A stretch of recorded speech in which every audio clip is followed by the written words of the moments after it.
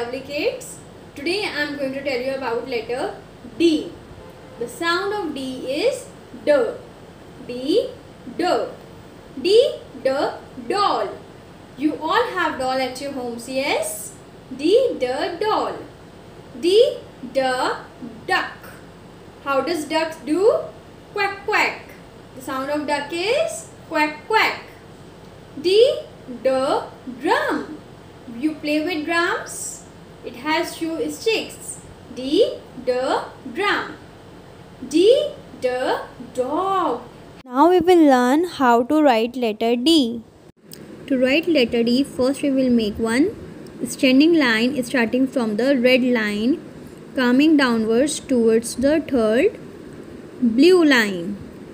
And now we will make one half circle or you can say semicircle. This is letter D.